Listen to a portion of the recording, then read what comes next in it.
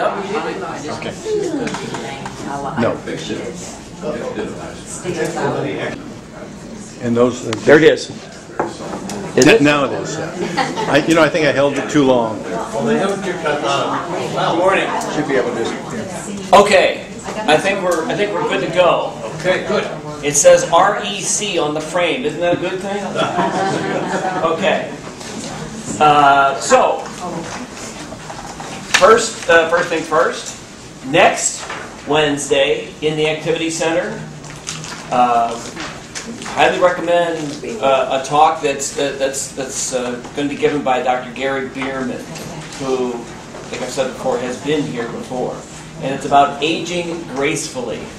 But you do not have to be aged, whatever that means, to, to attend. So, October 25th. I'm sorry, September 25th. I'm getting ahead of myself. September, September 25th, a week from today. I wrote down October. Sorry about that. Well, September 25th, 7 p.m. in the Activity Center. There are some flyers out on the table as reminders. Okay? Our next series here will start on October the 9th. And we'll be talking about the minor prophets. That's a Wednesday, the 9th, the 16th, and the 23rd. The minor prophets, and we will, uh, the first week, we'll talk about the prophet Amos. And then the second week, we'll talk about Zechariah. And then the third week, we'll talk about Jonah and his quirky little book that is only is only 48 verses. But it's uh, jam-packed with irony, satire, humor, and theology. And then on October the 30th, uh, Rori Picker Neiss from the Jewish Community Relations Council of St. Louis and I will be talking together about um, Isaiah chapter 58, and she will address it in the context of the Yom Kippur fast. I will address it in the context of the Lenten fast and uh, and penance. Is that going to be here? You That will over be there? over in the activity center. Okay, if you've never heard You'll know why. Rori, you're, you're, you've missed something. She is just wonderfully engaging and bright person. That's evening only. That's the evening only. That'll be seven o'clock also. Seven o'clock, okay. All right, so now, how appropriate for week three that we're talking about third Isaiah. It worked out perfectly. First Isaiah the first week, second Isaiah the second week, and now third Isaiah. So let's locate third Isaiah on our timeline. If you have your handy dandy timeline, There he is. If you don't, there are more copies of it up here. So, first Isaiah uh, preached during the period roughly 742 to 701. Okay? The uh, primary threat to the uh, Ju- Judeans at that time were the Assyrians. Tiglath-Pileser and Pileser and Shalmaneser and Sargon and Sennacherib. Okay? Um, and there were two occasions when the Judeans were considering uh, were considering entering into alliances with foreign powers in order to protect themselves. And in both instances, first Isaiah said, "Don't do that. Trust in God. Adhere to the covenant promise that you made that you would not enter into military alliances with foreign powers." And of course, his advice was ignored in both uh, on both occasions. Okay, and so in 701, that's the the end of uh, First Isaiah's uh, preaching. Sennacherib comes and he attacks uh, Judea or Judah, and he does everything except take over Jerusalem. And the reason why he doesn't take over Jerusalem is because Hezekiah pays him a huge ransom. Okay?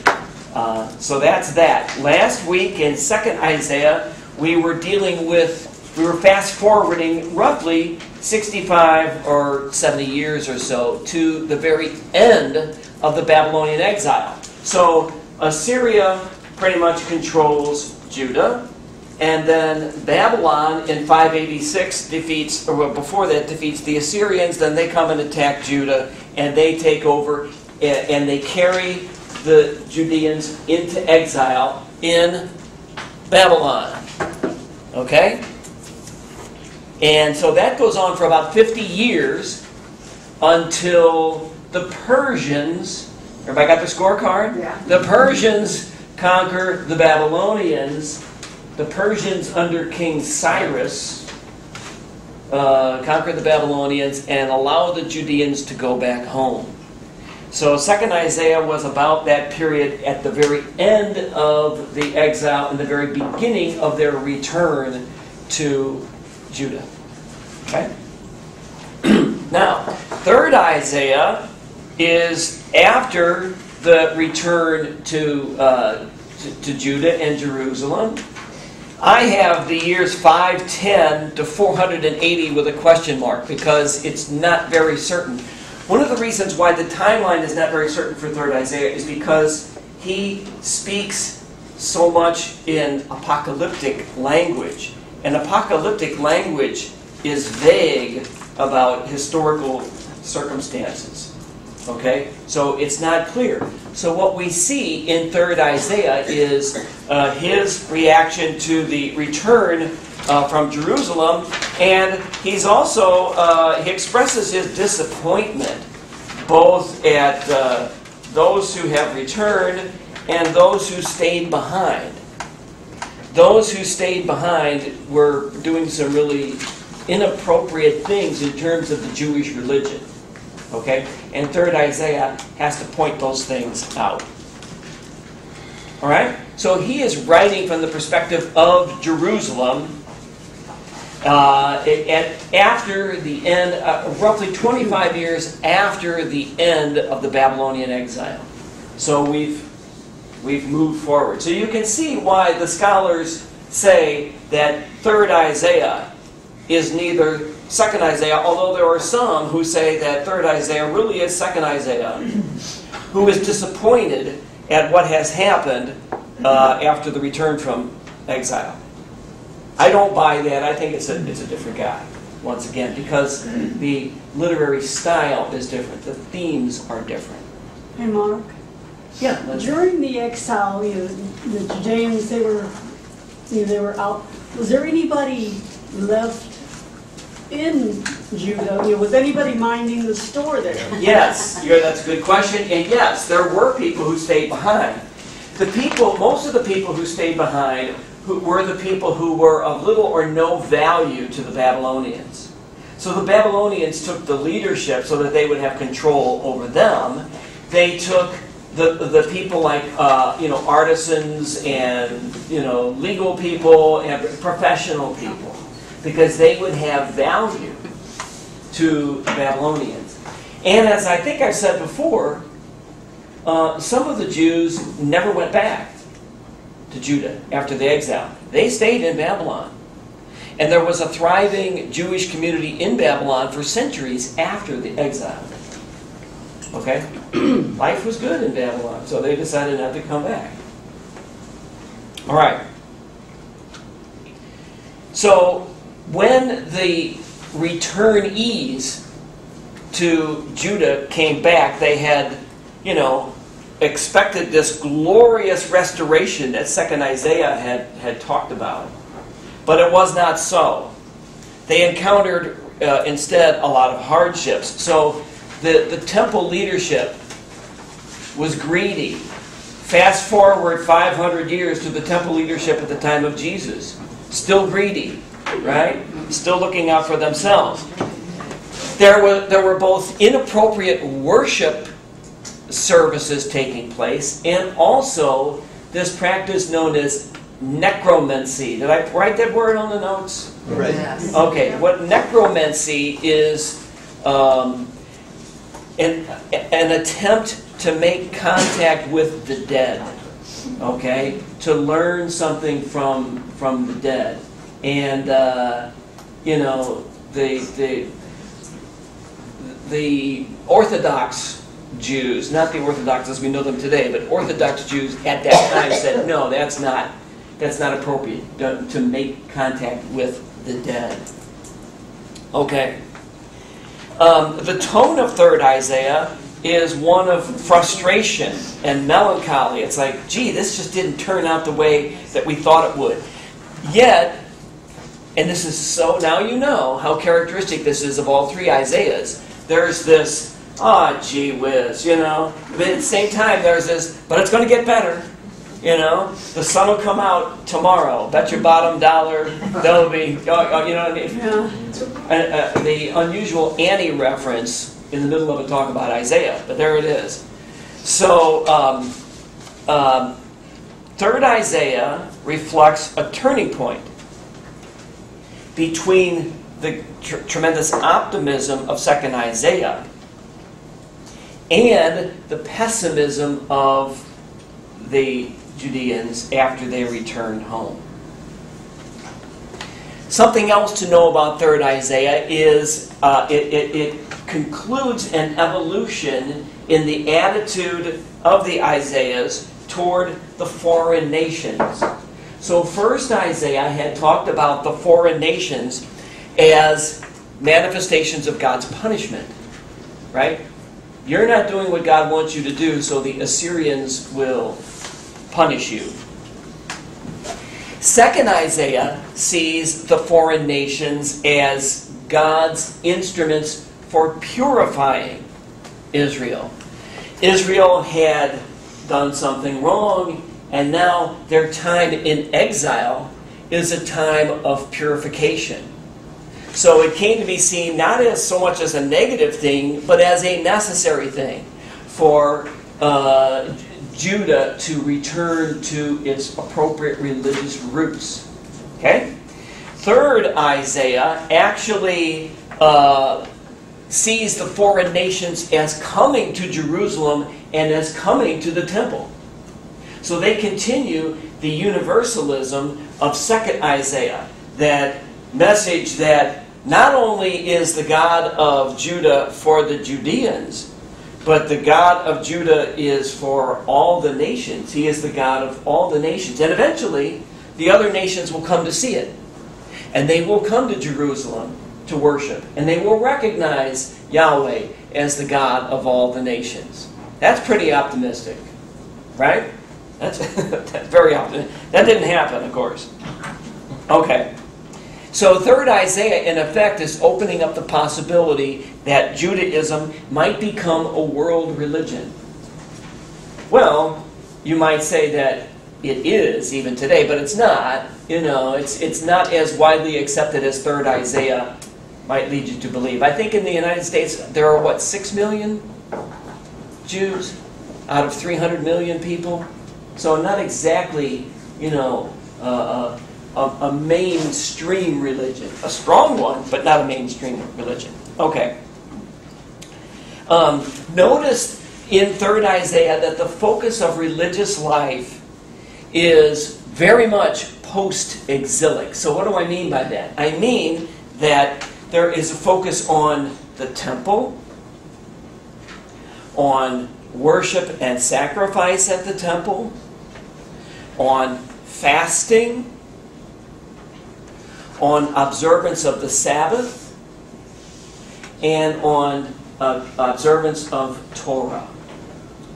These were not uh, strong uh, uh, points of focus for pre exilic Judaism. Okay? They are very much uh, manifestations of the evolution of Judaism, or I should say, the remaking, the redefining of Judaism as a result of the exile. Okay? So the exile forced Judah uh, and, and, Israel to redefine itself, to redefine re- Judaism itself. And so what you see afterwards is a, a, a rather conservative form of, of Judaism. It is run by the priests. It is shaped by observance of Torah, by going to the temple, by the worship at the temple, by uh, uh, uh, uh, fasting and, and Sabbath. Okay? That make sense? All right. The book of Deuteronomy, which is really post-exilic, the whole book is a post-exilic retrojection. Okay? Is the book that was uh, written to say that what was going on in the aftermath of the exile was actually something that God revealed to Moses. So why would they do that? Well, if you want to give post-exilic Judaism credibility, put it into the uh, you know into the time of Moses, right? Put it into one of the great the, the great times and great persons of Old Testament history. Okay, that makes sense. So Deuteronomy, even though it's you know Moses is in it, the stuff in it has nothing really nothing to do with the time of Moses. It has everything to do with post-exilic times. Okay. Um, one other thing, a little minor uh, thing, and this is one of the reasons why some scholars believe Second Isaiah and Third Isaiah are the are the same dude, is that neither one of them identifies himself by name in the book. First Isaiah, you know, uh, addresses himself or writes in the first person. Second and Third Isaiah never mention their own names. Okay, and as we will see, Third Isaiah um, uses apocalyptic language. Okay? And why do I why do I bring that up? Well, one of these days, maybe you know, we have about 50 topics that we can talk about. So I have that's job security. So uh, the reason why I bring up apocalyptic language is because the gospel writers put apocalyptic language into the mouth of Jesus. I mean, I say that, put it into the mouth of Jesus, because we don't know whether Jesus used that language or not. But the gospel writers say that he did. Okay? And so there's a, he's not inventing something new. He is merely picking up on a tradition that uh, goes back to the time of 3rd Isaiah. So this apocalyptic language about you know the sun being darkened and the you know the moon sh not shedding its light and earthquake and all that, the precursors of a new age or a new era. Okay, when the page of history will literally be turned, and there will be, to, to use third Isaiah's uh, uh, image, there will be a new world. Okay, and they don't say when exactly that's going to happen. Does all of that sound familiar? the gospel writers say Jesus used that apocalyptic language to talk about the coming of the reign of God, the new age, the age of the end, the end of the age of Roman domination, and the beginning of the age of God's sovereignty, God's uh, domination, if you will of, of Israel, the restoration of his sovereignty over Israel. A sovereignty that he had enjoyed during the time of the monarchy of David and Solomon and all the Jeroboam and the rest of them. Okay? Uh, a sovereignty that was lost at the time of the exile. So we see in the apocalyptic language of 3rd Isaiah kind of the dawning of this use of apocalyptic language to talk about, you know, the, the beginning of a new age or the beginning of a new era in human history. Does that make sense? That's why I draw attention to the apocalyptic language.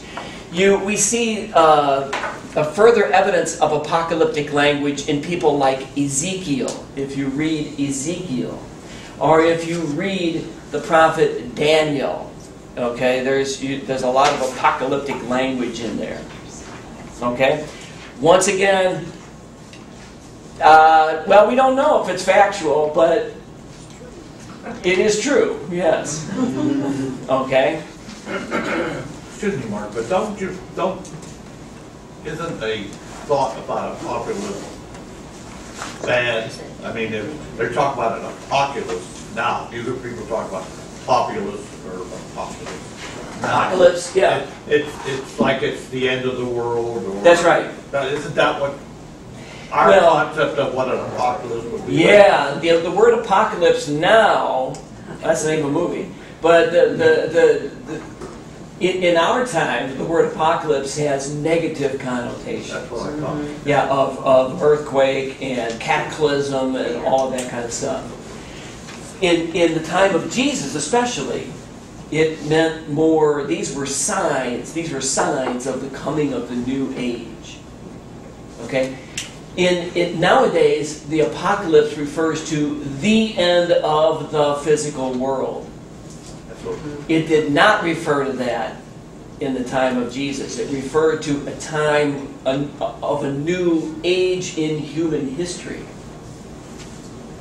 Okay? so it changed, it changed descriptions. Yeah, the word, the meaning of the word evolved. Mm-hmm. Okay? The meanings of words, a meaning, the meanings of a lot of words evolve over time. Okay. Right? There was a time when uh, cool meant it's not hot outside.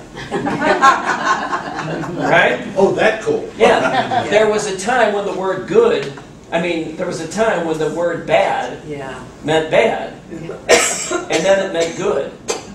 So what'd you think of that movie? That was bad, man. That means it was good. You see, so, you know, words, the meanings of words change over time. We could probably think of a hundred of them. Depending on who you're hanging out with. This time when Dave. Yeah, yeah, it does, yes, that does matter. So let's take a look at the text, if there are no other questions, and we'll begin not with chapter 56, although 3rd Isaiah uh, is, is also found in chapters 56 through 66, but um, the scholars generally believe that chapters 24 through 27 are also 3rd Isaiah. And these four chapters are referred to as the apocalypse of third, I, uh, yeah, the apocalypse of third Isaiah. They were probably written after the time of third Isaiah, but they reflect the theology and the thinking of third Isaiah. Okay? So, if, as we look at this, I would ask you to look at the, the new age tone in these verses. Okay. Right away, behold, the Lord will lay waste the earth and make it desolate. And he will twist its surface, surface that's probably an earthquake, twi- twisting the surface of the earth, and scatter its inhabitants. And it shall be as with the people, so with the priest, as with the slave, so with his master, as with the maid, so with her mistress, as with the buyer, so with the seller, so as with the lender, so with the borrower. How how Jewish is that kind of you know? All right, we, get it. You know, as with the coach, so with the player. As with the cab driver, so with the you know the the customer. As with the creditor, so with the debtor. The earth shall be utterly laid waste and utterly despoiled, for the Lord has spoken this word. The earth mourns and withers. The world languishes and withers. The heavens languish together with the earth. The earth lies polluted under its inhabitants, for they have transgressed the laws, violated the statutes, broken the everlasting covenant. Therefore, a curse devours the earth, and its inhabitants suffer for their guilt.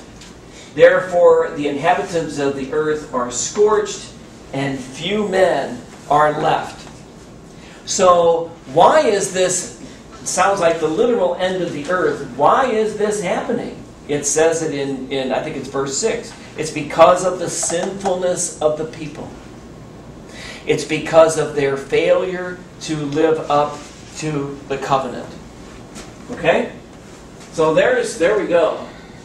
No hope, all is bad. Keep reading. But that's the same thing we were just talking about a minute ago. that- the end of the year. that- that- Yeah, mm-hmm. but I mean, if, Yeah. if that was what they were predicting apocalypse to mean, the earth is scorched, men are buried, da, da, da, isn't that what we're talking about, if we talk about that today? Yeah, so even back then, the, the term apocalypse had more than one meaning. For some, it was the literal end of the earth. Although you wonder whether that's really, you know, whether they're not using literary devices or whether they're really predicting the end of the world. Yes. I think what they're talking about is some kind of uh, something bad's going to happen because of the sinfulness of the people.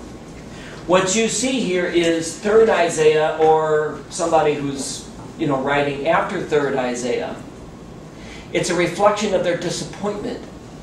Uh, you know, the second Isaiah thought that when the people came back, everything would be hunky dory, and the people would you know turn back to Yahweh, and everything would be fine. And it didn't turn out that way.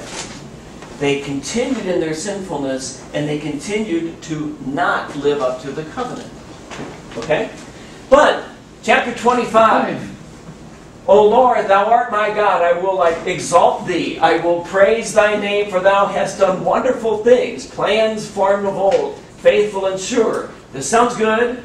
For thou hast made the city a heap, the fortified city a ruin. Uh oh. The palace of aliens is a city no more, and it will never be rebuilt. Therefore, strong peoples will glorify thee. Cities of ruthless nations will fear thee. Oh, so this has to do with uh, Judah's enemies. For thou hast been a stronghold to the poor, a stronghold to the needy in his distress, a shelter from the storm, and a shade from the heat. For the blast of the ruthless is like a storm against a wall, like heat in a dry place. Thou dost subdue the noise of the aliens as heat by the shade of a cloud. So the song of the ruthless is still. Okay, so verses 1 through 5. So this is a celebration of the redemption of the righteous.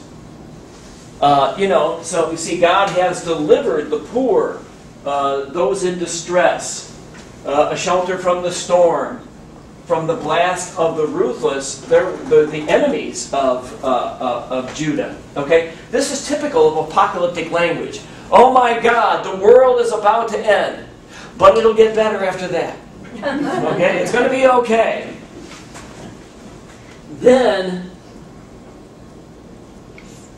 uh, this, these verses, I think, are should sound familiar. These are used in liturgy. These verses have to do with God holding a banquet to celebrate the redemption of the righteous. That banquet is something that would be looked back upon by, you know, Jesus and his followers, and it would become the messianic banquet, the great banquet in which everyone would be invited. Right? When God's um, when, when, when God's sovereignty was restored. So, where do we see in the Gospels this kind of banquet? Well, in the feeding of the 5,000, in the feeding of the 4,000, in the at, at the Last Supper. Okay, so there are those those feeding narratives in the Gospels are reflections of uh, of, of scriptures like this. Does that make sense? Um, one thing more about these verses. They uh, are kind of pickups or they allude to Canaanite mythology. Yes, the Judeans were in contact with the Canaanites. And so in Canaanite mythology, the storm god, whose name is Baal, well, Baal has he does he's more than just a storm god, but he is the storm god.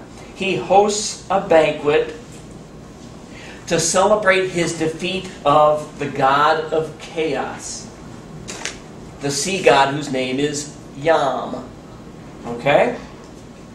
Um, so, this defeat of the god of chaos is a typical creation story in the ancient Middle East. So, in Genesis 1, um, God overcomes the the, the, the, the overcomes chaos, uh, identified as Leviathan, the, the, the, chaos that you see in uh, chapter 1, verse 2 of Genesis.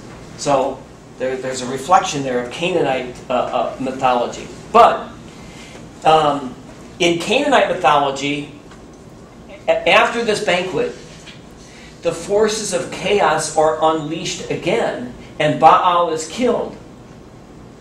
The Jews didn't pick up on that part of the story. All right? Uh, in, in, in these verses, chaos is utterly defeated. And God swallows up death forever. So here we go. On this mountain, Mount Zion, the Lord of hosts will make for all peoples a feast of fat things. That sounds good. A feast of wine on the lees, of fat things full of marrow, of wine on the lees well refined. I don't know what the lees are, Lee. I've got, Can you help us? Oh. they're not tea leaves, that's right. And he will destroy on this mountain the covering that is cast over all peoples, the veil that is spread over all nations. He will swallow up death forever. He will swallow up chaos forever. And the Lord God will wipe away tears from all faces and the reproach of his people. He will take away from all the earth. For the Lord has spoken. See that vision of an unspecified future which is characteristic of apocalyptic. Okay? This beautiful vision of, of God's future in some unknown, uh, unspecified future time. It will be said on that day, Lo, this is our God. We have waited for him that he might save us. This is the Lord. We have waited for him. Let us be glad and rejoice in his salvation. For the hand of the Lord will rest on this mountain, and Moab shall be trodden down in his place, as straw is trodden down in a dung pit. And he will spread out his hands in the midst of it as a swimmer spreads his hands out to swim. The breaststroke, I guess. But the Lord will lay low his pride together with the skill of his hands, and the high fortifications of his walls he will bring down, lay low, and cast to the ground, even to the dust. A great uh, vision of God's victory over uh, Judah's enemies. Now, this is what they're talking about at the temple. They're reading this out of, this, is this actually part of Torah, or is this something? Yeah, this is part of the Torah. So Um, they're being told this on Saturday? yeah, they would they would hear this in the synagogue. Okay, Yes, so it's good news now. this is good We're news. going back to Eden. Yeah, yeah, we're, God is literally going to recreate the earth. Now, don't take that literally, right? Of course not. Yeah, because you, you know the hazards of taking that literally. All right, so chapter 26, blah, blah. Uh, let's go fast forward to chapter 27.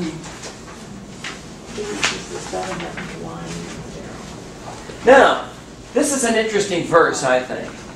Verse 1 In that day, and when you see the term that day or the day of the Lord, that's this time when God is going to uh, do something. Some of the, the, the some of the times when you hear that day or the day of the Lord, it's a positive thing like this. And other times, like in Amos, teaser for the next session, when when uh, when when uh, Amos uses the term that day or the day of the Lord, it's a day of doom, a day of uh, gloom. Okay, here it's not. So it can go either way. In that day, the Lord with his hard and great and strong sword will punish Leviathan, the fleeing serpent. Leviathan, the twisting serpent, and he will slay the dragon that is in the sea. Okay? So, um, I've talked about God's struggle with chaos or Leviathan before. Leviathan is not mentioned but alluded to in Genesis chapter 1, verses 1 through 3. We have been taught that God created everything out of nothing. That's because uh, over time, the Greek idea of creation superseded the Jewish idea of creation. Or I should say, the idea of creation contained actually in the book of Genesis. If you read the book of Genesis, chapter 1, carefully, you will see that God does not create everything out of nothing. God creates order out of pre existing chaos. Okay? And so, uh, then, then God struggles with chaos all the time. The classic example of God's struggle with chaos is the book of Job. So in uh, the last few chapters, 38, 39, and 40 of Job, God confronts Job and he says, um, he starts off with kind of a challenge. Where were you when I, you know, defeated, where when I created the earth? Where were you when I did this? And where were you when I did that? And then he starts talking at length about Leviathan. That Leviathan is this great sea monster. And what I gather from that, and what the people that I read gather from that, is that God is saying to Job, I continue to struggle with chaos. I struggle with chaos all the time. And sometimes I win, and sometimes I lose. And so that's why you're undergoing the suffering that you're that you're going through. That's why you lost your children. That's why you got all this, these sores on your body. What you might say about chapter 1 of the book of Job, in which God makes a deal with the Satan, one of the sons of God. Well, if you again look closely at the book of Job, chapters 1 and 2 and chapter 41 are narratives. Chapters 3 through 40 are, are a poem. And uh, there are many scholars who believe that chapters 1 and 2 and chapter 41 uh, are kind of like bookends, that they were not part of the original story. That they were put into the story to give it a, you know, give it a happy ending and to set up why uh, Job was punished. And so Job, you know, I'm, I'm getting back to third Isaiah, but but uh, it, it, Job in chapters one and two is the one who says, you know, naked I came forth into the world, and naked I will return. Uh, you know, uh, the Lord giveth, and the Lord taketh away. That's the patient Job that we are familiar with. Read again chapters three through thirty-eight. This is not a patient Job. This is an angry, bitter Job who wishes he had never been born, who questions God's moral character. He asks, Is God so self centered? Does God not see things from our perspective, but only from his own? well, so God kind of sets him straight and says, You don't know who I am, and I'm not telling you who I am, but I will tell you that I struggle against Leviathan. I struggle with chaos. But this is the hopeful message. Now I'm bringing it back around to the third Isaiah. Ultimately, uh, God will slay the dragon. God will overcome chaos. And so the bad stuff that happens to people through nobody's fault will come to an end and God will be in complete charge of the world. That make sense? I, I have done a lot of thinking and reading about God and Leviathan. And uh, that, you know, this, this is where I'm at with it. Stay tuned. In a year, I might say something different. But that, that's where I'm at with it right now.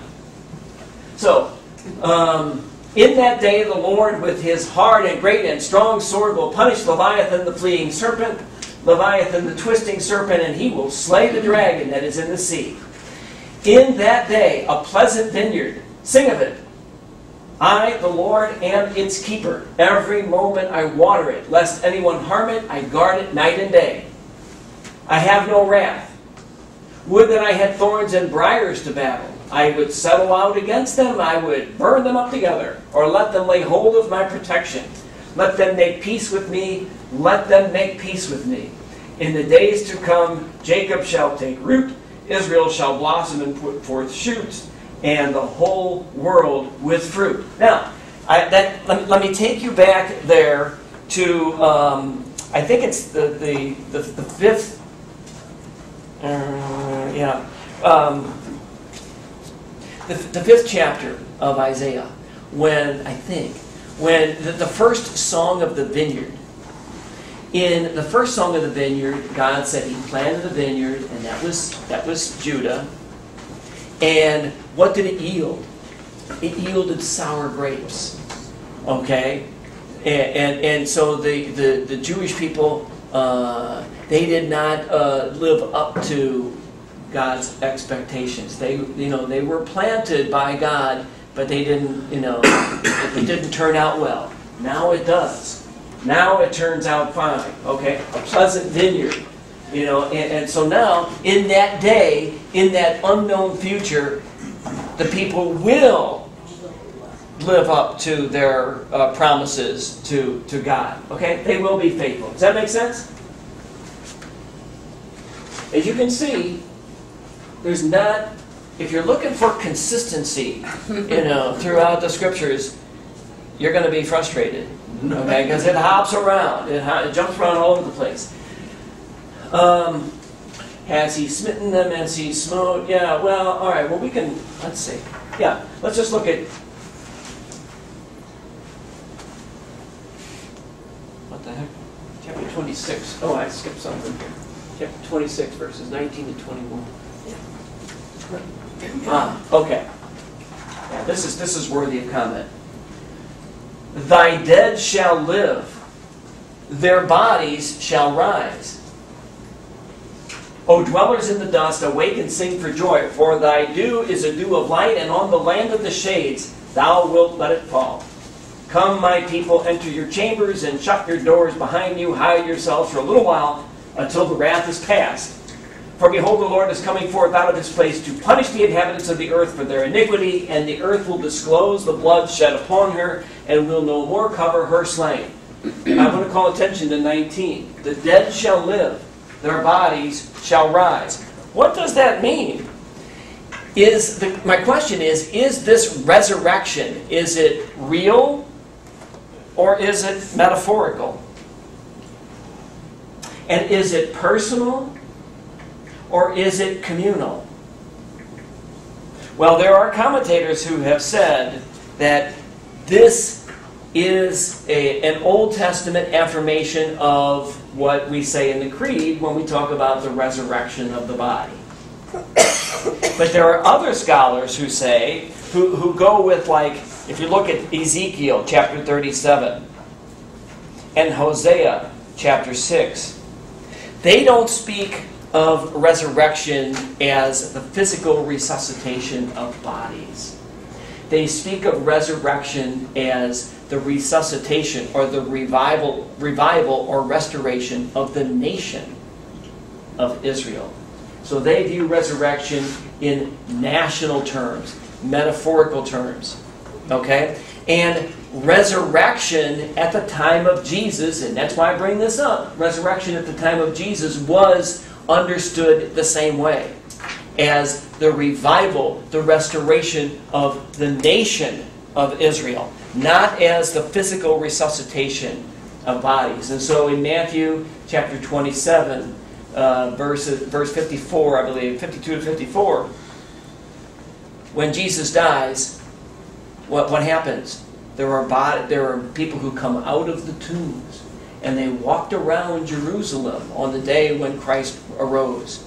So, in other words, Matthew is, is saying that not only did Jesus rise, but the nation rose on that day.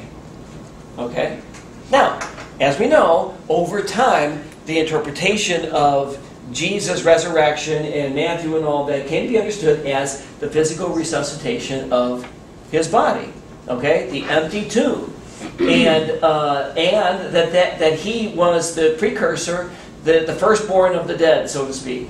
That what Jesus did by walking out of the tomb is what we will all do at the end of time. Okay?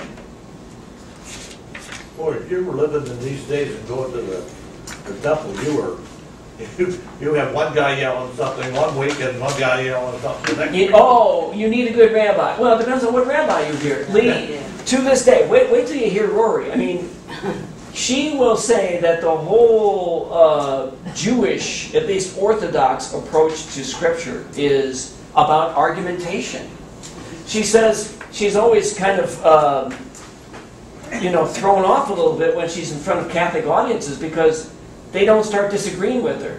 When she's, you know, when she's talking to her fellow Jews, they're like, "No, it doesn't mean that. It means this because Rabbi so and so said this, and this rabbi said that." The, the scriptures for the Jew, the best way I can describe the difference in their approach to, as opposed to ours, is, and, and Rori and I have talked about this. I've said that we Catholics are looking to find the right answers when we look at Scripture. What does it mean? What is it saying? And the Jews are trying to ask the right questions.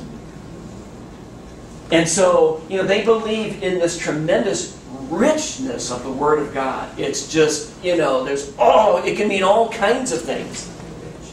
So, you know, when, when it says, here's a real simple example. When it says, don't, you, you uh, may do no work on the Sabbath.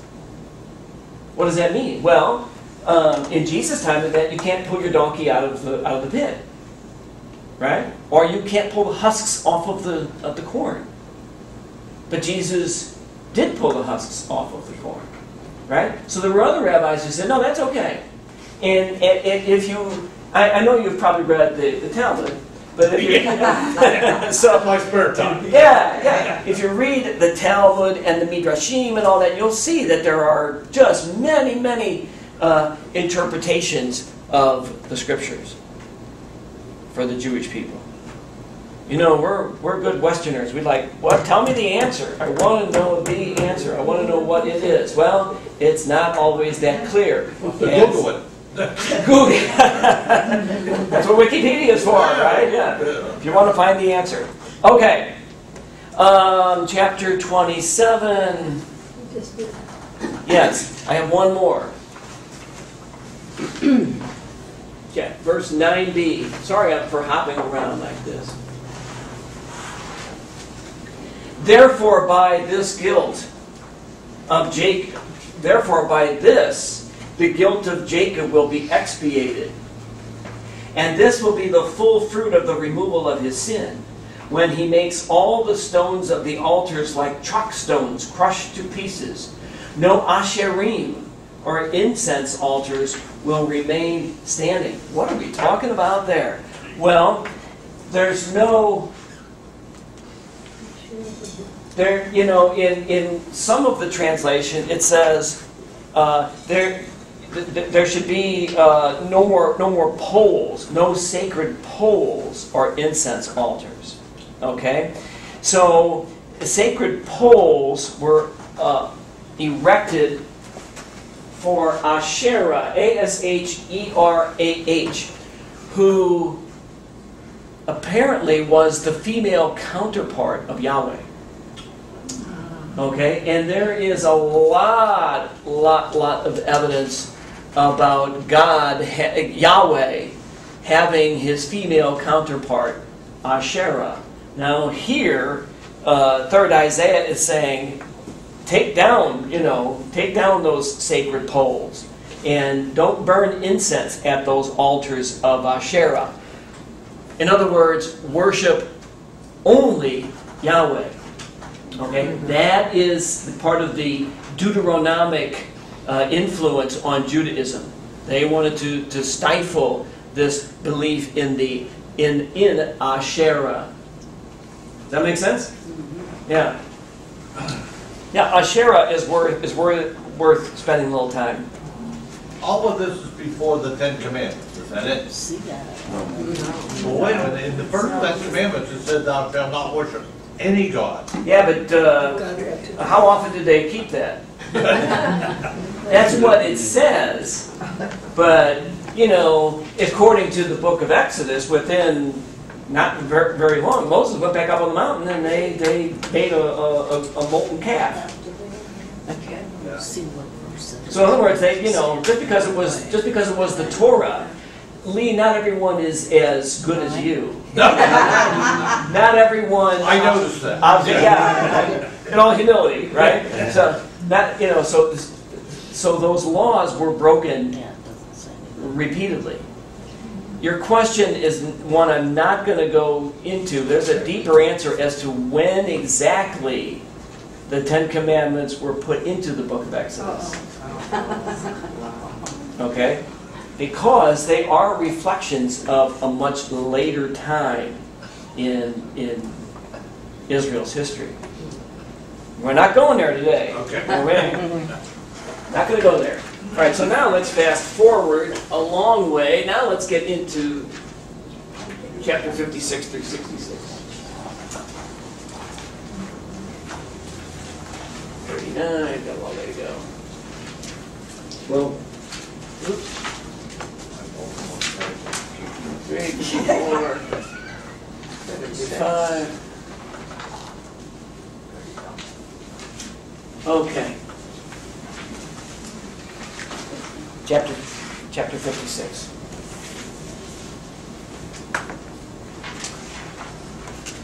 Thus says the Lord, keep justice and do righteousness, for soon my salvation will come and my deliverance will be revealed. There's that word again. You know, first, second, and third Isaiah all insist on God's justice. Blessed is the man who does this, and the Son of Man who holds it fast, who keeps the Sabbath, not profaning it, and keeps his hand from doing any evil. Um, what is this? Quiz, pop quiz, what is this? Blessed is the man who does this, and the Son of Man who holds it fast.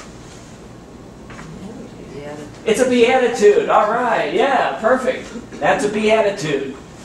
Let not the foreigner who has joined himself to the Lord say, The Lord will surely separate me from his people. And let not the eunuch say, Behold, I am a dry tree. For thus, for thus says the Lord, To the eunuchs who keep my Sabbaths, who choose the things that please me and hold fast my covenant, I will give in my house and within my walls a monument and a name better than sons and daughters. Well, good for them. I will give them an everlasting name which shall not be cut off. And the foreigners who join themselves to the Lord, to minister to him, to love the name of the Lord, and to be his servants, every one who keeps the Sabbath and does not profane it, and holds fast my covenant, these I will bring to my holy mountain and make them joyful in my house of prayer. Their burnt offerings and their sacrifices will be accepted on my altar, for my house shall be called a house of prayer for all peoples. Hear anything there? My house shall be called a house of prayer. But you have made it into a den of thieves. Oh, yeah, So, okay? all right. That's these are the words that the gospel writers have Jesus speak when he is cleansing the temple. Okay? Yeah. Thus says the Lord God who gathers the outcasts of Israel. I will gather yet others to him besides those already gathered. So, can you see how third Isaiah is talking about how God will become uh, the God not just of the Judeans, but of other peoples as well. So, um, uh, um, like the, uh, the, the, the eunuchs. Uh, the, these are the eunuchs are, are unacceptable uh, people. Okay, and but he's saying no, no, they'll, they'll be with me. Um, the foreigner, let, not the foreigner who has joined himself to the Lord and said, The Lord will surely separate me. Okay? No. They will be part of God's people as well. This is part of that optimistic vision of the future in, in 3rd Isaiah. Notice what else it calls for um, Sabbath, covenant, Holocaust, sacrifice. These are all elements of Judaism after the exile. Okay, this is the direction that Judaism took after the exile. Uh, verse 5. This, this verse doesn't say it very well, but I will give in my house and within my walls a monument and a name better than sons and daughters. I will give them an everlasting name which shall not be cut off. So I just wanted to note in my reading uh, at the Israeli Holocaust Memorial in Jerusalem. Its name is Yad Vashem, and that's taken from this verse. And Yad, Yad Vashem is taken, you know, it literally means a monument and a name. I don't know if your if your your Bibles have that, but the Holocaust Museum in Jerusalem is is named. Its name is taken from this very verse. So, okay. Uh, yeah, verses 9 through 12.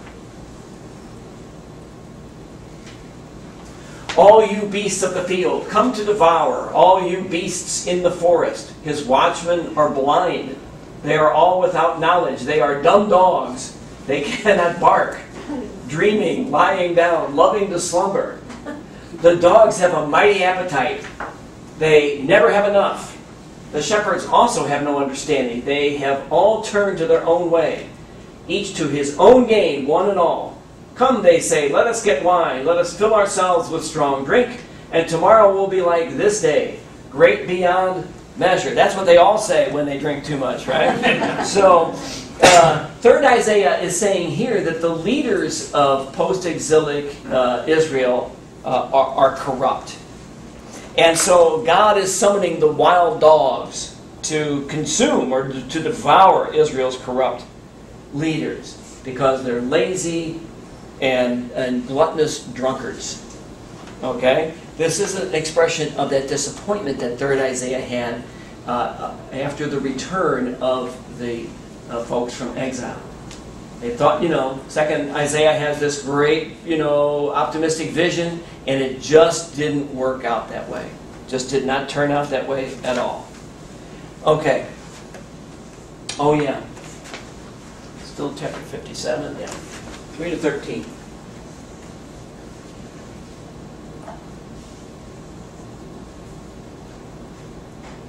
So these are some of the things that the folks did who stayed behind. This is a description of some of the practices that were engaged in by those folks who did not go into exile. Right? They stayed behind in Judah. But you, draw near hither, sons of the sorceress. Uh oh. Offspring of the adulterer and the harlot. Is not good. Of whom are you making sport? Against whom do you open your mouth wide and put out your tongue? Are you not children of transgression, the offspring of deceit? You who burn with lust among the oaks. Okay, burning with lust, lust among the oaks is a reference to a uh, fertility service that involved sexual activity um, among the oaks. Okay, it was an attempt to uh, appease uh, uh, Yahweh, who was, you know, among other things, a, a fertility god. Okay, so but this was not the way to do it. you know, having sex among the oak trees was not the appropriate way to honor the god of fertility. Why do I call Yahweh a God of fertility? What, what were the promises that he made in the, the covenant? To give them land, to always be with them, to uh, promise them a progeny. They would, they, would, they would be as numerous as the stars of the sky and the sand on the seashore. Well, that's fertility. And he promised them that their, their crops would be fertile. So he was the God, among other things, of the fertility of their women, and the fertility of their crops. Yahweh was a fertility God. And so they are, they are doing what they think is the right thing to do to, you know, uh, invoke uh, the, the Yahweh, the fertility God. Third Isaiah is saying, no, that's not the right way to do it. Okay? Among the smooth stones of the valley is your portion. They, they are your lot. To them you have poured out a drink offering, you have brought a cereal offering. That's another um, this is another uh, uh, uh, ritual that third Isaiah is saying is inappropriate, bringing them a drink offering or a cereal offering. Who are these smooth stones? Hang on. Oh, the, oh the, the smooth stones refers to the dead. And so this is one of those rituals of necromancy that, that the uh, people who were left behind were practicing. Okay? Offering uh, drink uh, and, and cereal to the dead. Okay? Shall I be appeased for these things? Upon a high and lofty mountain you have set your bed, and thither you went up to offer sacrifice. Behind the door and the doorpost you have set up your symbol. For deserting me, you have uncovered your bed and gone up to it. You have made it wide. You have made a bargain for yourself with them. You have loved their bed. You have looked on nakedness. In other words, you have been an adulterer. You have not been faithful to your God. Okay, that's a form of adultery. You journeyed to Molech with oil and multiplied your perfumes. You sent your envoys far out, far off, and sent down even to Sheol. This word Molech uh, and, and, oil is uh, uh, is significant. You would never, I would never have seen it before I started reading about this. Molech can also be translated as mulk, M-U-L-K. And M-U-L-K refers to a child offered in sacrifice, human sacrifice. Okay? So, what about the oil? Well, apparently these children were being anointed with oil before they were burned. So, one of the another one of the inappropriate practices that Third Isaiah is condemning is child sacrifice. Okay, uh, the, you know, look look back to the uh, Abraham story with Isaac. So, what is that but a prohibition against child sacrifice? Right? They had seen child sacrifice during the exile, and they, they found it abhorrent. Although there is evidence of that there was child sacrifice prior to the exile. Um, I'll get to that. And then verses 11 to 13. Whom did you dread and fear, so that you lied and did not remember me, did not give me a thought? Have I not held my peace even for a long time? And so you do not fear me. I will tell of your righteousness and your doings, but they will not help you. When you cry out, let your collection of idols deliver you. Okay? Another one of their inappropriate practices. Yeah, go ahead. Let's see what your idols can do for you. Have at it, right? Go for it.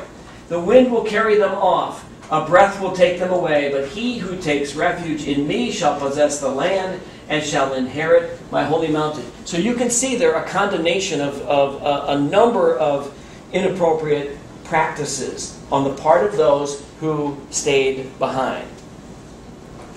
All right, chapter 58. I'll go into this just a little bit because this is what Rori and I are going to be talking about.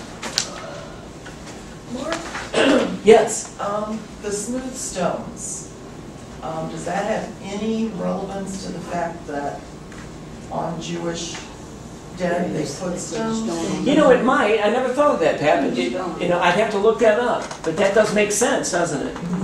You know, the placing of a smooth stone on the grave of, of, of the dead. That does, yeah. That, that very poignant scene at the end of Schindler's List Yeah. when they're all placing the, the stone on Oscar Schindler's uh, grave. I don't know. Yeah, you know. Well, they're not communicating with them, though, it's just a remembrance. Yeah. We're here to remember you. Yeah, but then, you know, the, the, the custom of placing the stone might be uh, ambivalent. It might mean more than one thing. So if you put the stone on there, that, that might be okay. But trying to communicate with Right. Oscar, not okay. Yeah.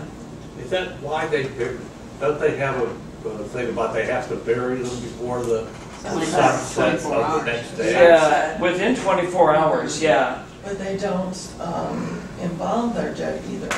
Right, right. You know, yeah, some of that is, oh, there's religious reasons and also hygienic reasons. Muslims do the same thing. Yes.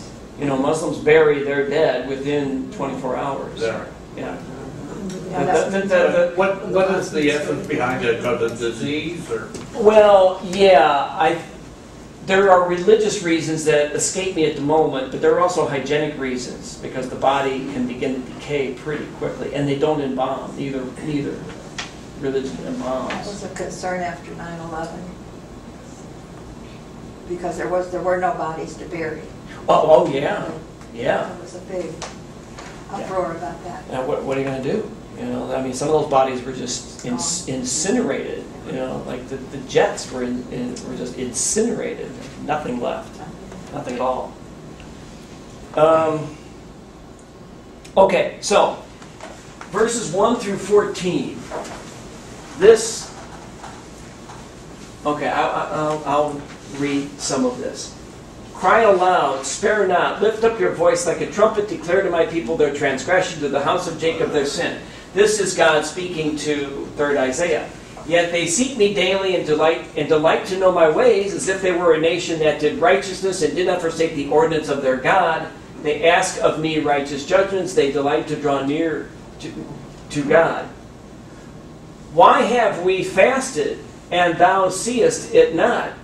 Why this is now the people, uh, you know, the people of, of Judah speaking to God. Why have we fasted and thou seest it not? Why have we humbled ourselves and thou takest no knowledge of it? Behold, in the day of your fast you seek, and this is God answering them, Behold, in the day of your fast, you seek your own pleasure and oppress all your workers. Behold, your, you fast only to quarrel and to fight and to hit with wicked fists. Fasting like yours this day will not make your voice to be heard on high. Is such the fast that I choose, a day for a man to humble himself? Is it to bow down his head like a rush and to spread sackcloth and ashes under him? Will you call this a fast, a day acceptable to the Lord? Well, normally we do, don't we? We're like, yeah, we do. Is not this fast the fast that I choose? This is the key. Is not this fast, is not this the fast that I choose? To loose the bonds of wickedness, to undo the thongs of the yoke, to let the oppressed go free, and to break every yoke. Is it not to share your bread with the hungry and bring the homeless poor into your house? When you see the naked, to cover him and not to hide yourself from your own flesh. So here, God, through 3rd Isaiah, is saying, you know, these, these ascetical practices of yours. And keep in mind that the fast became an important thing uh, uh, after the exile. So there was the fast during the fifth month, there was the fast during the seventh month. The fast during the seventh month is what evolved into the fast, the 25 hour fast uh, on Yom Kippur, the Day of Atonement. And Rori has told me that these verses are read in the middle of their 25 hour fast on Yom Kippur. And so she will hear comments like, what the heck are we doing then? You know, so what, what third Isaiah is saying, what God is saying through third Isaiah is this. Your, your, your, your fast, your abstinence, your doing whatever is only uh, worthwhile if you do the work of justice as well. And notice here, uh, you know, and again, that, that is one of those key themes in all of Isaiah. And if you fast forward now to the 25th chapter of Matthew, verses 31 to 46, when it says, And the judge shall come upon the clouds, and they'll divide the sheep from the goats and all that, and, and he will say to the sheep, When I was hungry, you fed me. You know, come into my kingdom. When I was hungry, you fed me, and when I was thirsty, you gave me drink, and when I was naked, you clothed me. And and those on his right say to him, "When did we see you hungry, naked, thirsty?" You know, and and uh, and he says, as, "As often as you did it to one of my least brethren, you did it to me." That's a that's an echo from these verses, right? So Matthew is saying that the standard of judgment, the standard of the judgment of our lives, is how we treat the poor and the, the hungry and the thirsty and the naked and the prisoner and, and the person who is sick. And that th- this, this, these verses say exactly the same thing. So, a little bit about fasting in the history of Israel, okay? Fasting was done for uh, a number of reasons. First of all, it was done uh, uh, as, as, a, as a sign of, of uh, bereavement or, or grieving. So if you look at 2 Samuel chapter 1, verse 12, David mourns the death of Saul and Jonathan by fasting. Um, it was also, uh, fasting was also uh, uh, done at times of national tragedy. So in the book of Joshua, chapter 7, verse 6, Joshua defeats, uh, laments the defeat of the Israelites at Ai, Ai. He fasts in order to show his grief or his uh, his sorrow. In the book of Judges, chapter 20, verse 26, um, the, the, the Israelites fast after, after they have been defeated by the Benjaminites. After the exile, times of fasting in Judaism increased. So in the book of Zechariah, which we'll be looking at soon, it extended to the fifth and the seventh months. And then if you look in, in Leviticus chapter 16, um, there was one great day of fasting on Yom Kippur, the Day of Atonement. Okay? Um, so if you look at verses 1 through 7, again, I won't read them again. There are two words that, uh, uh, th- that stand out. The first one is desire, the second one is affliction. And uh, third Isaiah uses both the words desire and affliction in two ways.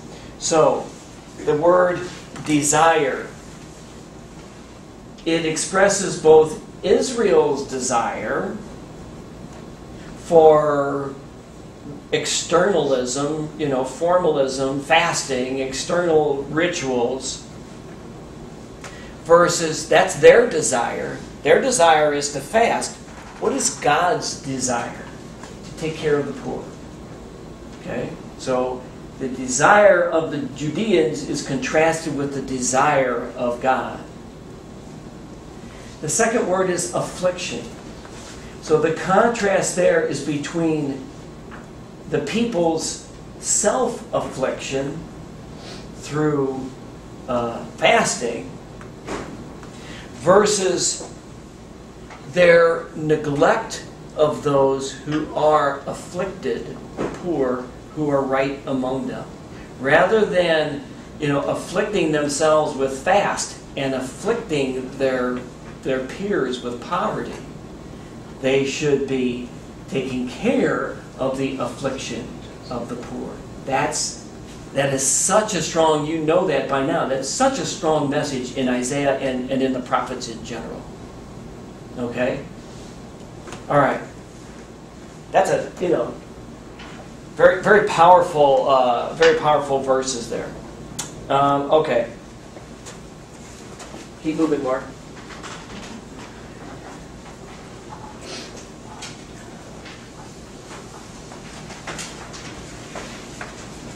So, chapter 59, verses 1 through 3. The Lord, see, the Lord's hand is not too short to save, nor his ear too dull to hear. Rather, your iniquities have made a separation between you and your God, and your sins have hid his face from you, so that he does not hear. For your hands are defiled with blood, and your fingers with iniquity. Your lips have spoken lies, your tongue mutters wickedness. So, uh, you know, here it, it uh, th- this is the complaint of the people. Lord, your hands are too short to save us. You're not doing what we need. You're not doing what we want. You're not listening to us. And God's response is, uh, it's not my fault. It's your fault. It's because of what you are doing or not doing. That's why I'm not stretching out my hand to save you. That's why I'm not listening to you. Because you're being sinful. This is your problem. This is not my problem. Okay? Uh, I'm just going to make a comment about this. If you if you have the time to read oops, verses 9 through 15. Uh, justice is far from us, righteousness does not overtake us. We look for light, behold darkness, and for brightness, but we walk in gloom. Truth is lacking. He who departs from evil makes himself a prey. So here, the community wants justice and righteousness, um, but they, at the same time, they know that it's their own sins that keep justice and righteousness from happening. But when, if you, if, when you read these verses uh, more closely, and I'm not going to for the sake of time, notice that the, the people, the Judeans, express no remorse for, for their sins and no intention to change their ways. They're just saying, yeah, we're sinners, you know, I'm a bad person. But they're not saying they're going to do anything about it. Okay? They're not saying anything about the firm desire of amendment as is part of, you know, the, uh, the catechism about confession, right? One thing to confess, it's another thing to, like, you know, kind of change and, and, and, and do things differently. It, there, there's none of that here. Bless you. Take it. And yet, as soon as we go to chapter 60, there's always a good message around the corner. So when you read about doom and gloom, keep reading. All right? Um, chapters 60 through 62 talk about, once again, the glorious restoration of Israel. And these chapters are very close in tone to 2nd uh, Isaiah. Okay? The difference is that when 2nd Isaiah talks about the restoration of Israel, uh, he puts it in the context of their uh, deliverance by Cyrus of Persia. 3rd Isaiah does not. His day of deliverance or, you know, his time of restoration is in an unspecified future, as I've said before. Okay?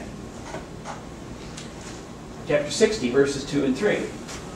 Well, let's start with chapter verse 1. Arise, shine, for your light has come, and the glory of the Lord has risen upon you. For behold, darkness shall cover the earth, and thick darkness the peoples. But the Lord will arise upon you, and his glory will be seen upon you, and nations shall come to your light, and kings to the brightness of your rising. This is that, yeah, that is from Messiah. It's from Handel's Messiah. Um, so, this is that statement of future universalism when not, that when God will be acknowledged just not only as the God of Israel, but also as the God of the other nations. Other nations will come to your light, kings to the brightness of your rising. Uh-oh. Yeah. Then you shall see and be radiant. Your heart shall thrill and rejoice, because the abundance of the sea shall be turned to you. The wealth of the nations shall come to you.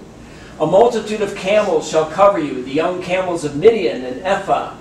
All those from Sheba shall come. Christmas, Christmas time story. They will, they shall bring gold and frankincense. That's why you hear this one in Christmas time. And shall proclaim the praise of the Lord.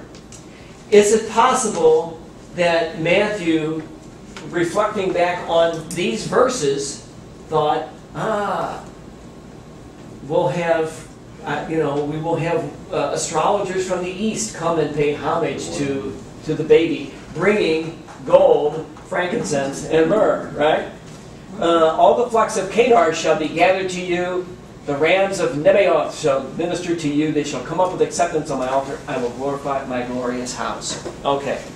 So the nations not only will show up in person, but they will bring their wealth to this new, redeemed, glorious Israel.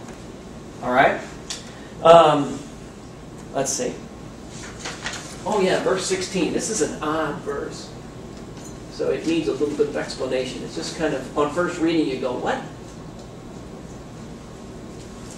You shall suck the milk of nations. You shall suck the breast of kings. What? And you shall know that I, the Lord, am your Savior your, and your Redeemer, the mighty one of Jacob. Well, that sounds really odd, except that in ancient Middle Eastern mythology, great kings, it's, it's written about uh, from time to time that great, great kings were breastfed by goddesses. Okay? And so here, what 3rd Isaiah is saying is that Jerusalem will be breastfed by the nations. Okay? That, yeah, that, that, that the nations will acknowledge Jerusalem. Okay?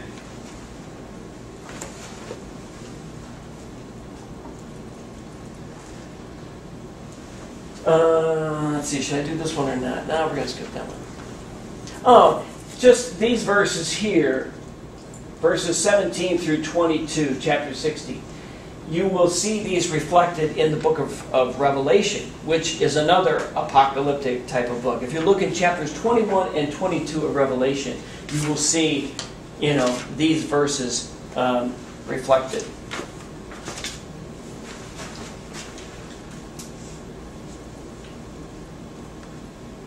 Ah, see if these verses aren't familiar. The Spirit of the Lord God is upon me, because the Lord has anointed me to bring good tidings to the afflicted. He has sent me to bind up the brokenhearted, to proclaim liberty to captives, and the opening of the prison to those who are bound, to proclaim the year of the Lord's favor and the day of vengeance of our God, to comfort all who mourn, to grant to those who mourn in Zion, to give them a garland instead of ashes, the oil of gladness instead of mourning, the mantle of praise instead of a faint spirit, that they may be called oaks of righteousness, the planting of the Lord, that he may be glorified. Where, who, who, who said those words? Jesus, And when did he say them? In the when he was reading in the temple. Uh, close. He was in the synagogue at Nazareth, in the fourth chapter of Luke. Okay, he goes home to his own his own synagogue, and they hand him the scroll of the prophet Isaiah, and he opens it to this verse. Okay, so that's the main reason why I bring that up. But notice again, what is the what is the standard? Okay, the Lord has anointed me to bring good tidings to the afflicted, bind up the brokenhearted, proclaim liberty to the captives, and opening of the prison. So, you know, in Luke, Jesus' announcement of his commissioning is an announcement of working for God's justice. Okay? In other words, that's what he was sent here to do. Yep. Yeah, yeah. He's saying that, yeah. That is uh, Luke's kind of, you know, way of announcing Jesus' mission. Okay? And this is shortly after his, his own baptism by John. Okay? Um, let's see.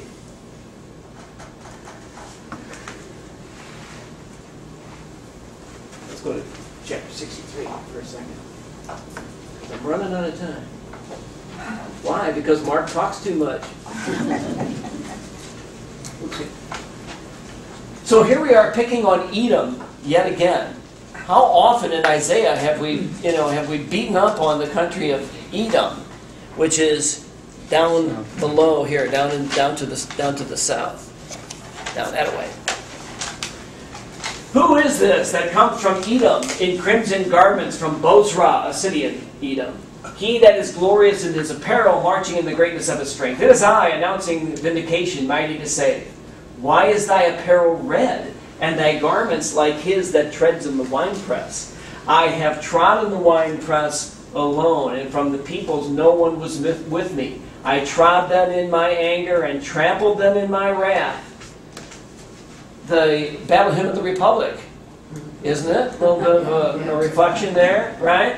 Their lifeblood is sprinkled upon my garments, and I have stained all my raiment. For the day of vengeance was in my heart, and my year of redemption has come. Holy cow. So, this is God. You know, who, who is that coming from, from Edom? It is I announcing vindication. Why are your robes red? God has trampled the wine presses of Edom and crushed them, the people, in his wrath. Okay? Why is Edom so often singled out and, uh, you know, uh, uh, blasted like this? Well, because um, the Israelites believed that, and I've said this last week, that when the Babylonians uh, conquered them and took them into exile in 586, that the Edomites you know, uh, kind of piled on and joined with the Babylonians in, in, oppressing and beating up the Israelites as they marched into uh, exile. Okay? Um, let's see.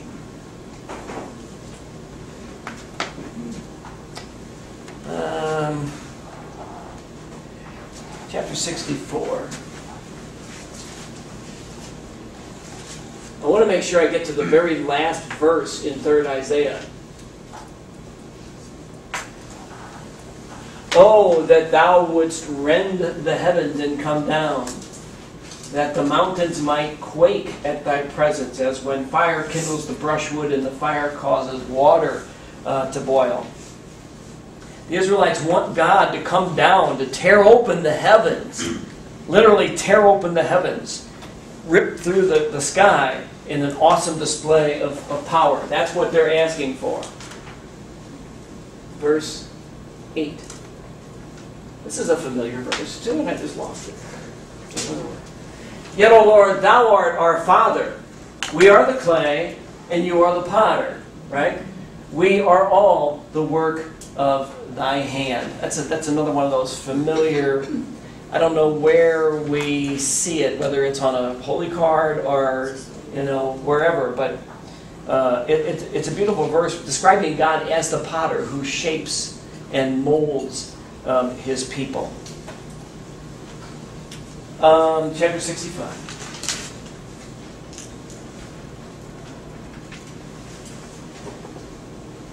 I was ready to be sought by those who did not ask for me. I was ready to be found by those who did not seek me. Okay? I said, Here am I, here am I, to a nation that did not call, my, call on my name. This is God speaking. I spread out my hands all the day to a rebellious people who walk in a way that is not good, following their own devices. A people who provoke me to my face continually, sacrificing in gardens and burning incense upon bricks. Once again, those inappropriate uh, uh, rituals that the people left behind were engaging in, who sit in tombs and spend the night in secret places, trying to communicate with the dead. Okay? Who eat swine's flesh. Uh oh, don't do that. And broth of abominable things is in their vessels. Okay, so by this time, you know, uh, the, the prohibition against the eating of, of, of pork was, uh, was in place.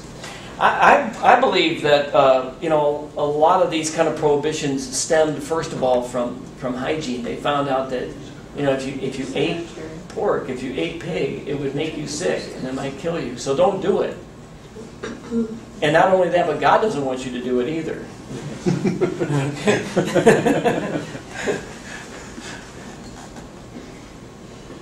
so here we go. All right. So some negative stuff. So naturally, it should be, and it is balanced by this. For behold, I create new heavens and a new earth. So the restoration is uh, a second creation of the world. We've had we've had restoration described as a second exodus, and not, also as a second creation of the world. And the former things shall not be remembered or come to mind. But be glad and rejoice forever in that which I create. For behold, I create Jerusalem a rejoicing, and her people a joy. Um, verse 20 no, no more shall there be in it an infant that lives but a few days, or an old man who does not fill out his days. For the child shall die a hundred years old, and the sinner a hundred years old shall be accursed. So long life in, at this time is still is a blessing from God. Okay, so Adam lives 930 years, just to say he is he is a good guy. You must be a good man, Lee. Boy, I see that's another crack age. That's man, that, that, that is just not right. Hey, if you got it, hang on to it. I hear you. I, I don't know about you, but I like having birthdays. yeah. Okay. They shall build houses and inhabit them. They shall plant vineyards and eat their fruit. They shall not build and another inhabit. They shall not plant and another eat. For like the days of a tree shall the days of my people be. And my chosen shall long enjoy the work of their hands. So they're not going to build houses to have somebody else live in them. They shall not labor in vain or bear children for calamity. For they shall be the offspring of the blessed of the Lord and the children with them. Before they call, I will before they call, I will answer. But remember, before it was, "Hey, God, where are you? You know, you're deaf and your hand, your arms are too short." Well, before they call, I will answer. I will be with them. While they are yet speaking, I will hear. The wolf and the lamb shall feed together. The lion shall eat straw like the ox and dust shall be the serpent's food. They shall not hurt or destroy in all my holy mountain, says the Lord. The new Eden, right? A return to the Garden of Eden. There's a place in Branson that has the- the lion and the lamb lying together there. I- I Yeah. I think it's by the Sight and Sound Yeah, Theater it over. It's there. right Okay. It's kind of, uh, kind of unique Yeah, takeoff on that. it's right. Yeah, it's a, an embodiment of this. So let's just jump since it is 11 o'clock. to the, to, to the last verse, it's, it's a little bit troubling. So there's, here, I'll explain some of the other stuff. Yeah, I was gonna talk about the whole, the whole chapter. Um, so in chapter 60, 66, the last chapter in Isaiah, there is another oracle of judgment. So this, this is negative again. And there is in verses 1 through 4 a condemnation of temple sacrifice, yet again. Um, there in verses 7 through 13, there is a reference to Mother Zion. Mother Zion, who will give birth to a new Israel. Okay? Uh, verses 17 to 24, I recommend them you know, for your, for your reading.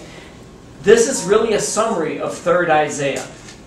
This is a summary of all of 3rd Isaiah. There's a condemnation of inappropriate worship, verse 17. The gathering of the nations, verses 18 through 20. The new heavens and the new earth, verses 21 to 23. And then, this is the conclusion of the book of the prophet Isaiah. And they shall go forth and look on the dead bodies of the men that have rebelled against me. For their worm shall not die, their fire shall not be quenched, and they shall be an abhorrence to all flesh. Wow. So, in other words, all the people will go out to Gehenna. Yeah. Why? To witness the burning of the corpses of those who have rebelled against God. Pretty gruesome. Okay, so that, this is the word of the Lord, right? So, so that's the way the, uh, the book of Isaiah ends. Any is that metaphor? Oh yeah. I mean, you know, this is one of those, uh, you know, hyperbole or, or embellishments. You know, you, you you have no doubt about what the author is trying to say here, right? We'll win. Our enemies will lose. No doubt, right? Any la- last observations or? I hope this. I hope you found this uh, helpful to see that the book of Isaiah is a rather complex work, and there's a lot of layers and there's a lot of history behind it. So, I think that's the major thing there. A lot of this happened, you know, all this happened, and I take it as we know about this because of other things they may have found, yeah, even and, though they were written a long time and, afterwards. and there's just been a lot of research into these texts. There's been a lot of research, archaeology and history and commentary and all that kind of stuff. But it's hard to get that resolve between, like, like you say, it's back and forth, so you really don't know whether this was happening before Moses or Moses. Yeah, so- and in a way, it doesn't really matter because what we're looking for are those themes that keep coming up. One of the themes that keeps coming up is take care of the poor, the widow. If you want God to be with us, this is what God wants. He wants social justice. He wants, you know, uh, justice for the poor, the widows, and the orphans. Thank you once again for coming. I appreciate it. Turn it off. We can turn it off now. and we will uh, we'll, we'll resume October the 9th, okay?